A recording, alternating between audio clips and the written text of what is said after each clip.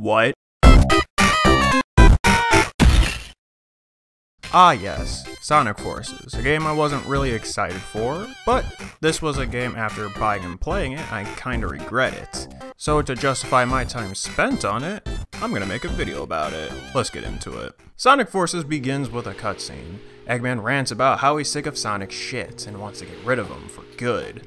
He makes the claim that this time, he will take him down. Yeah, Keep dreaming, buddy. The game then cuts to the first level with Sonic rushing to the city to see what all the commotion's about, only getting there just in time to save Tails and some of the other people from Eggman. Just as Sonic is about to give Eggman the beatdown, Eggman whips out the edgiest thing alive, kills Sonic, and that's it, man. That's where the game ends.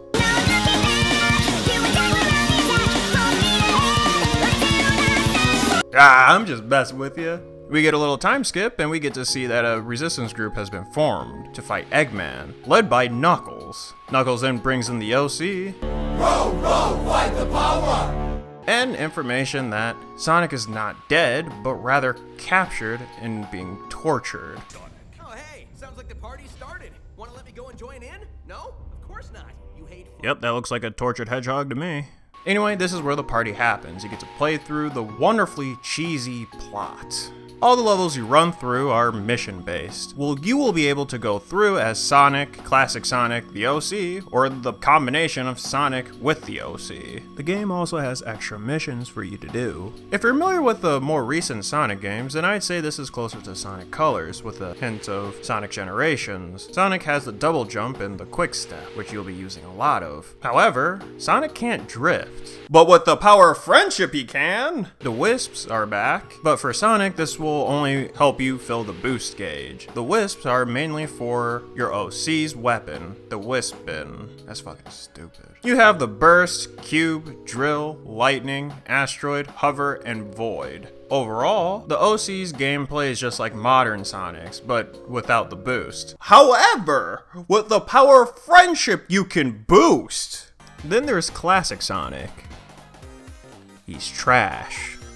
Now, Let's talk about the good. One of the more obvious positives is being able to create your own OC. While the base customization isn't exactly the best, when you get more clothes, it actually becomes a lot better. I got lost in the menus just trying to mess with my character's looks, and that was pretty much my highlight, I would say. Another positive of the game is the fact that the game has so many side missions for you to do.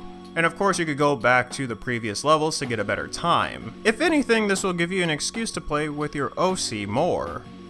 This game also has Crocs. And a gamer hat for you gamers out there.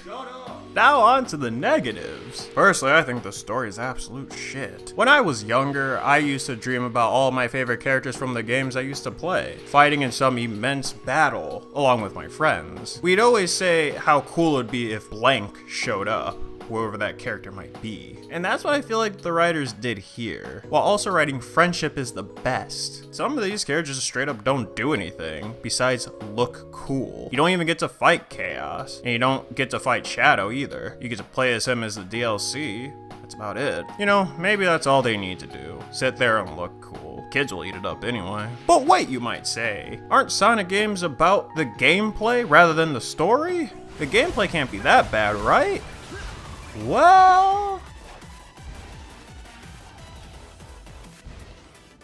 The gameplay isn't this bad, I just wanted to put this in the video.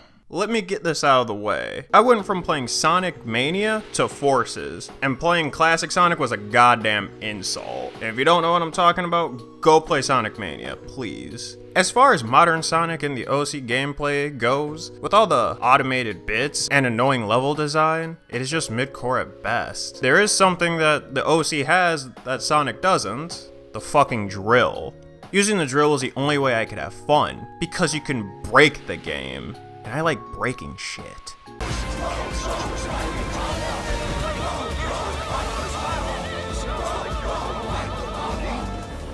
Oh no! But just because I can break shit doesn't mean I'm gonna give the gameplay a pass. It's because this is unintended.